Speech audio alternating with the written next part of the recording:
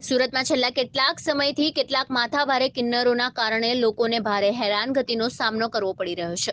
અને ગોડાદરામાં એક યુવાનના ઘરે પુત્ર અવતરના તેની પાસેથી દાપો માંગવાના ઝઘડામાં તેની હત્યા કરાઈ હતી. તો સાથે રિંગ રોડ કાપડ માર્કેટમાં મારામારીના બનાવો પણ વધ્યા હતા. જેથી કાપડ માર્કેટમાં વેપારીઓએ કિન્નરોના પ્રવેશ પર પ્રતિબંધ મૂક્યો હતો.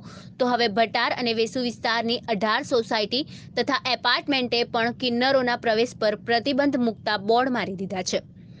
દાપો માંગવા આવતા કેટલાક કિન્નરો દાદાગીરી કરતા હોય અને તેને કારણે થતી માથાકૂટથી લોકો કંટાળી હવે કિન્નરોના પ્રવેશ પર પણ પ્રતિબંધ મૂકી રહ્યા છે.